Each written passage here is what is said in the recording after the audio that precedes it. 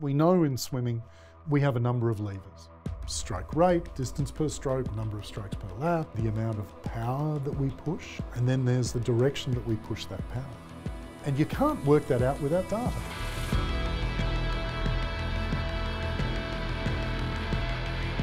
You have elite level athletes perfecting their bodies.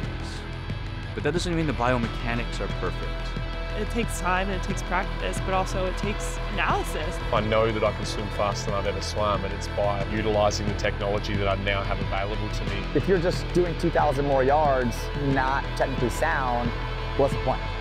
This is about looking for areas that we can make a difference, areas that we're not scared to go in and change norms and shake things up.